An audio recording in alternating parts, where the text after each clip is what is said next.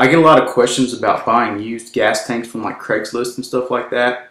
And they ask me what to look for, how do I know if it's a good tank, um, how long do they last, how big is this cubic feet. And here's some answers to um, what you should look for when buying a used tank and also a relative idea of the sizes and how long they last really depends on what tips you use. So, you know, this is the welding shop that I like to go to. Um, it's Alamo Welding Supply in Austin, Texas. And um, I only go here. These guys are really nice. Uh, when I first started out, they answered all the questions that I could that I had, and they uh, showed me a lot of stuff that I didn't know. And they're willing to talk to you and help you out, and they're really friendly. And here it is. This is an R size bottle, R size bottle, 20 cubic foot, 20 cubic foot, 40 cubic foot, 40 cubic foot, 80 cubic foot, 80, a 122, 122, and a 150. 150, And then these are the 250s right here. 250. Those are the ones you want.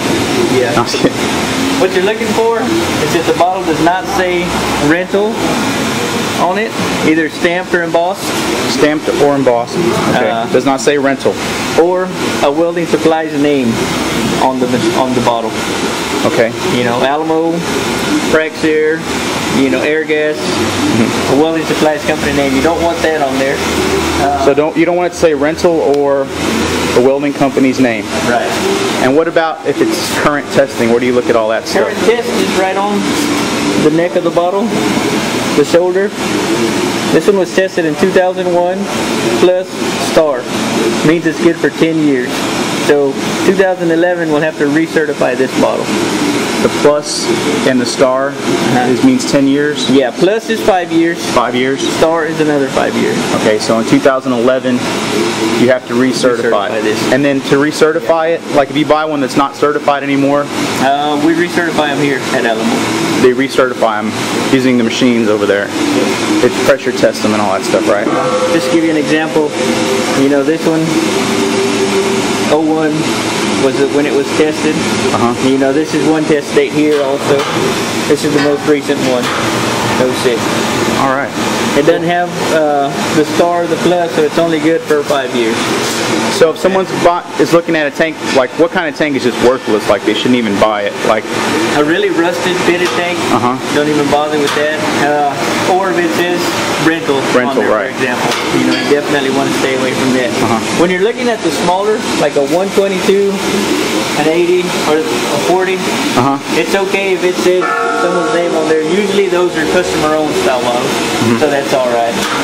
Um, on big bottles, Yeah. like the 250s, ideally, that's what you want. Nothing on the neck ring. A You can- blank neck ring. Yeah. Ideally, that means it's customer-owned. Mm-hmm. You can take it anywhere, no one's going to give you problems exchanging the bottle. Except for Tractor Supply, they're jerks over there. Yeah.